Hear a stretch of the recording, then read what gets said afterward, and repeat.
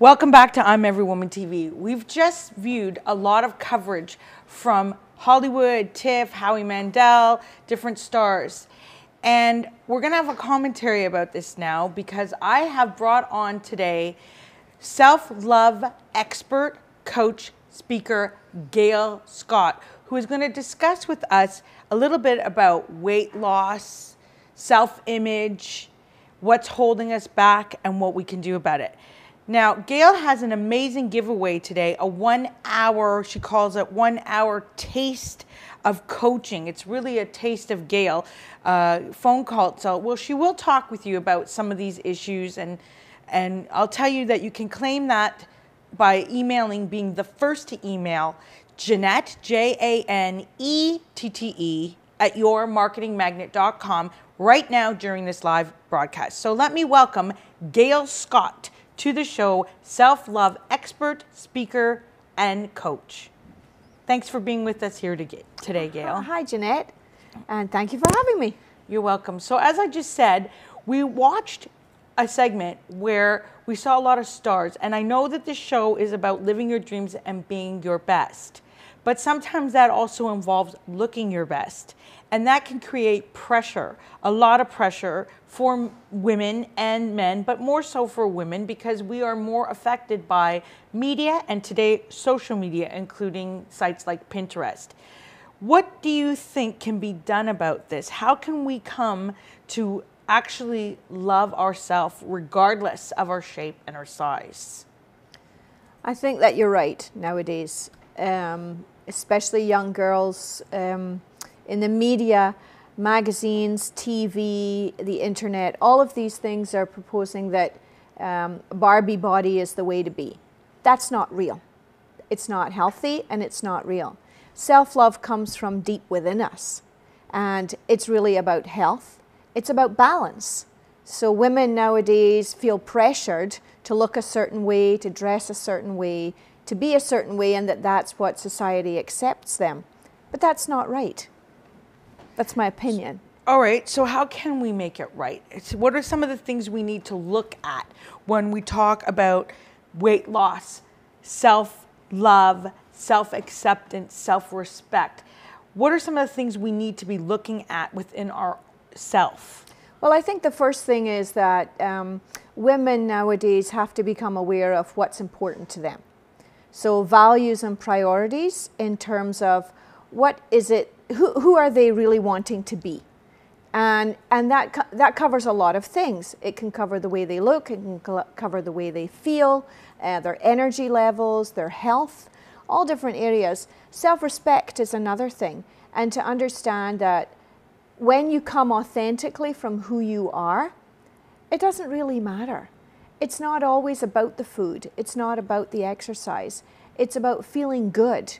It's about being happy with who you are. And yes, that means at a certain point we do have to look at our health. I mean, we want to live as long and as great a life as we possibly can. So, some tell me how you help people live healthy. I know it's balanced and stress free, but the healthy part. Where did I, I know that you also were heavily involved in Weight Watchers as mm-hmm. a consultant at mm-hmm. one time, and that you bring a lot of this to your business for the weight loss and weight management proponent of what you what you offer in your business. Right. Well, you know, there's one thing that we know: we can't live without food. Um, we come from specific cultures and specific families that have habits and patterns that are ingrained from childhood.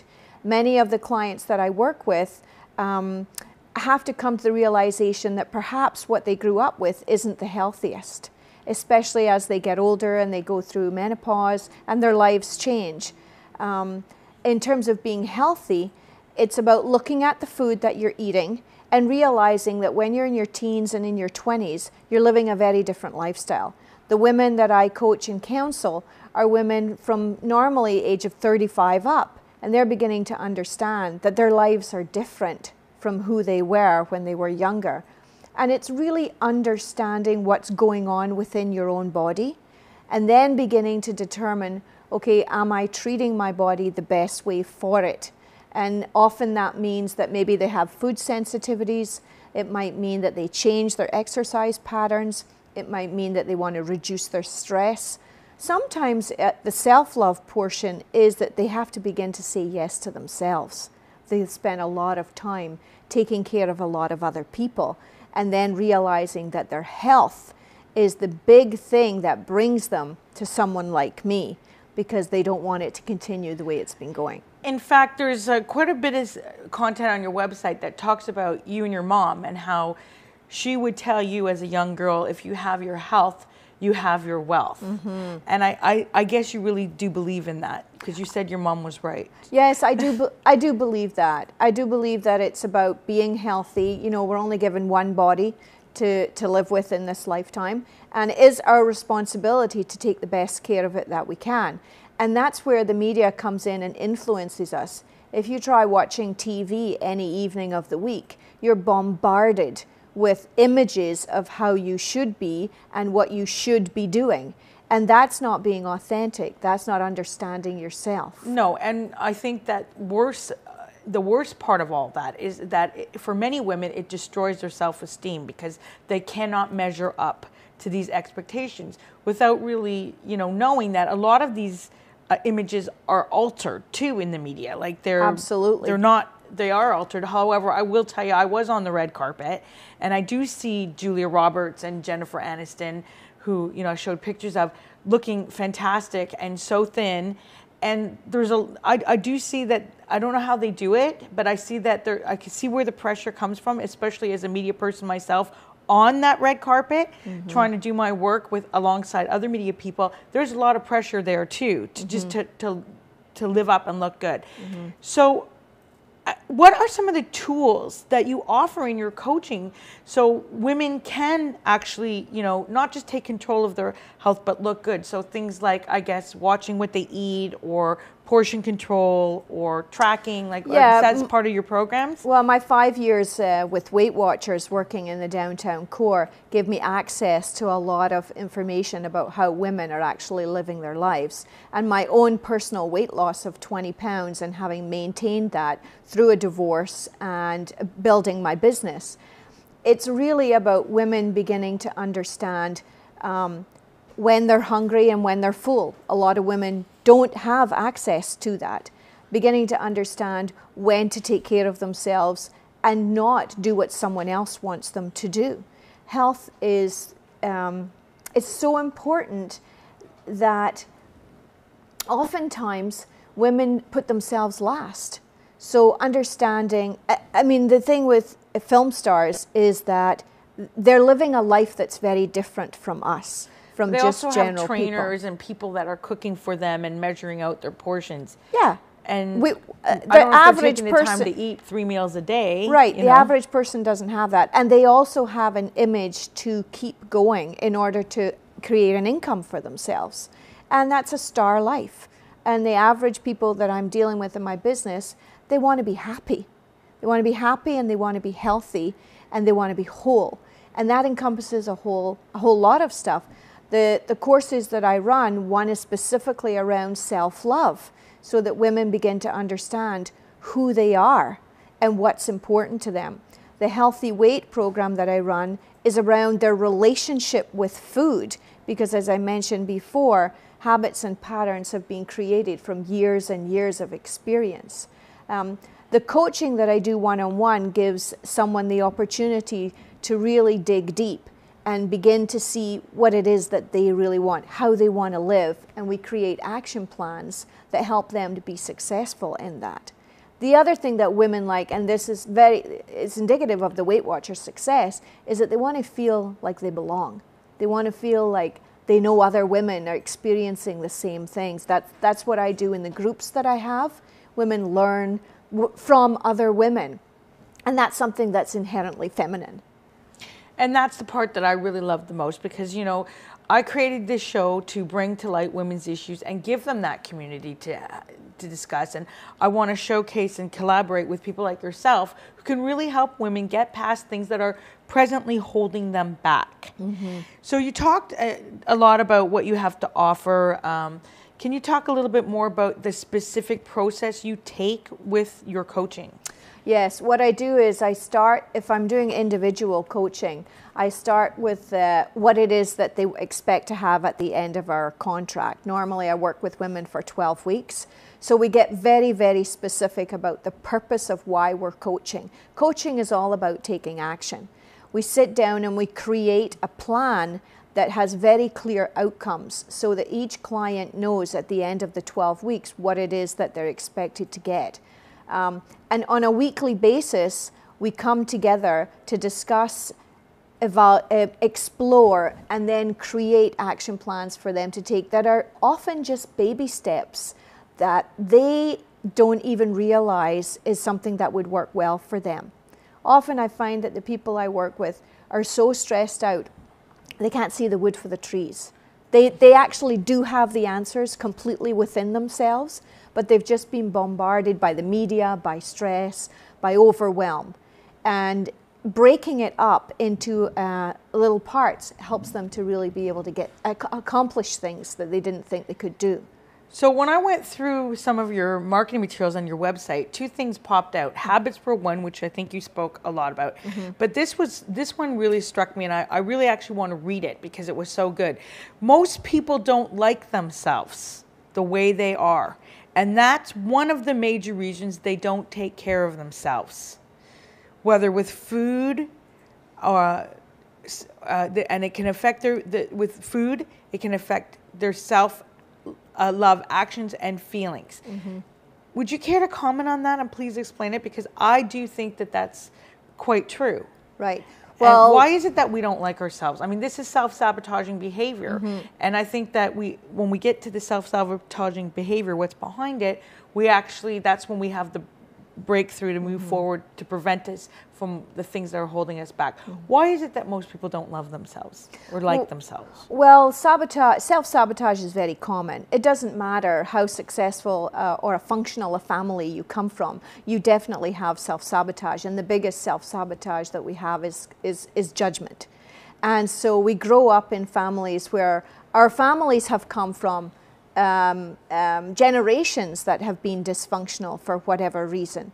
And unless you come from a family that's absolutely providing unconditional acceptance and love, you are going to grow up feeling that there's something wrong with you in some way or another.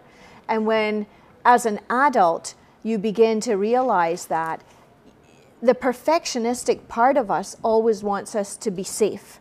And and so we don't love ourselves, and that shows up in how we treat ourselves. And it could be that we work too hard, it could be that we cope using food or we cope using shopping.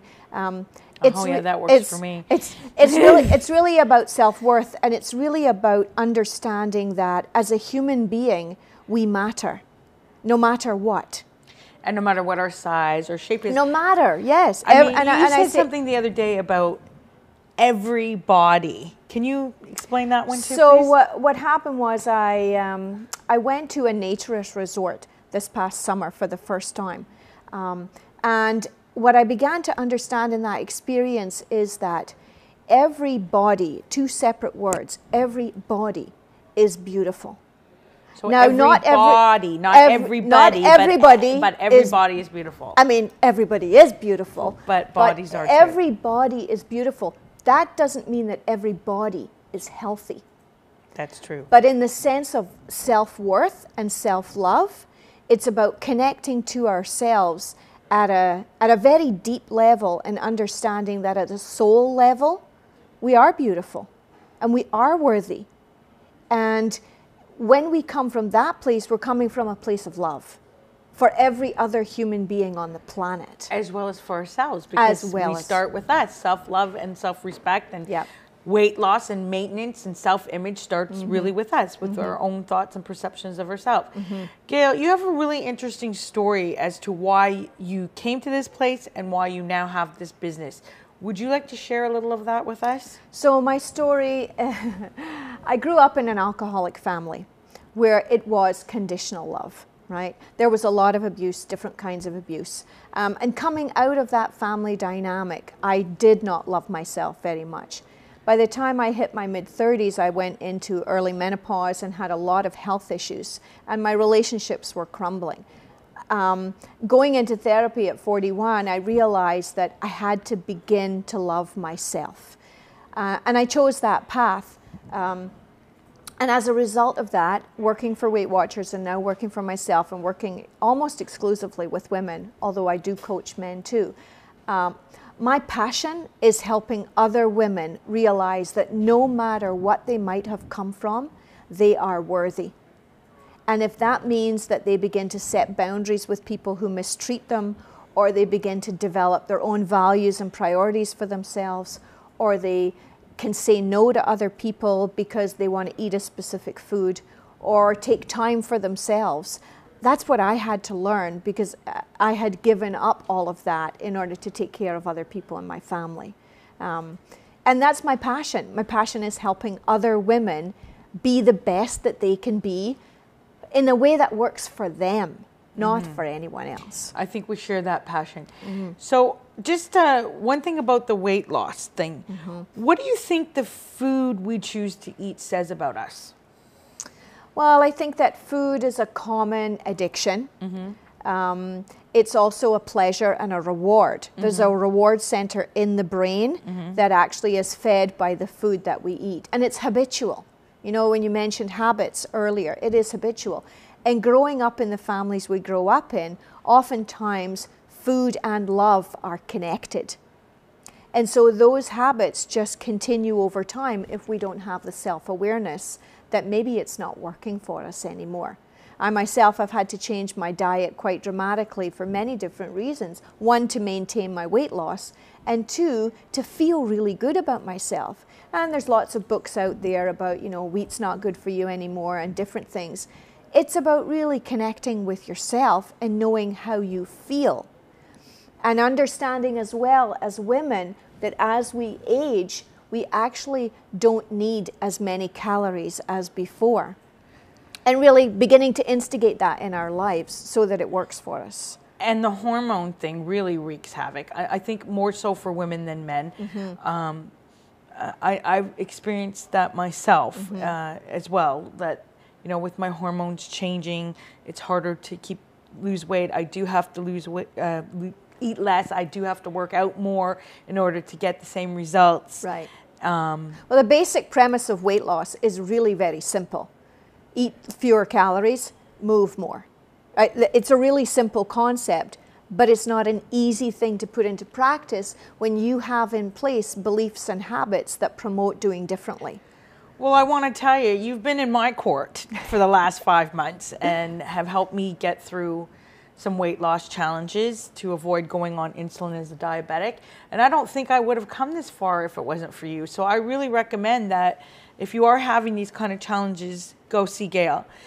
Now, Gail, I just want to make sure that we get out everything that you do. So mm-hmm. if you want to just give us a, a, little bit of an overview right. of what you do as a speaker and a coach. So my business is helping people live, empowering people to live the best life that they can. I do one on one coaching with individuals. I do group programs as well. And I also speak professionally. I have two keynotes. One is called The Thin Within, and one is called The Love Within. And I love speaking to groups about stress management and life balance and the kinds of um, challenges that we're facing right now in this particular time. And I want to mention again that Gail has a great giveaway today. It's called the Taste of Coaching, but I, I think it's more of a taste of Gail. You have a one hour coaching call where you can talk about self love issues, weight loss issues, and just things that are, you know, basically holding you back from being all you can be and looking and feeling your very best. And uh, there's also some action steps with that call, so that is worth a 100. dollars mm-hmm. And the first person to email me now during this live broadcast We'll claim that prize and then we will pass your name on to Gail. So that you have to email me at Janette, J A N E T T E, at yourmarketingmagnet.com. And as we close this segment out, I would like to ask you to uh, tell us how we can get in touch with you. And we want to put your website is on screen, but we want to have you referred to it and your phone number as well. Anyone who wants to have any kind of conversation with me around any of these issues is welcome to call me. My phone number is 416 358 1457. Contact me by email, gailscott4 at rogers.com. Go on my website, check out the things that I do, and feel free to call me. And the web address again is www. dot It's uh, gailscottcoaching.wordpress.com. And I look forward to talking to people. And ladies, I really think you should take the time to make this call today because you really deserve it. Uh, Your health is your wealth. And when we feel good about ourselves, we look good and everything else just falls into place. And really, I've learned that a lot from working with Gail. So I know you can too. And I want to thank Gail so much for being with us today. Thank you. And I want you to stay with us because we have a very special magnetic marketing moment with me, Janette Burke, your marketing magnet, for all you ladies, all my gals out there who are working gals, I like to call you, or fempreneurs, women in business. I want you to really know your worth. And this particular segment, we're going to talk about assessing your worth and charging what you're worth and easily getting it. So please stay with us.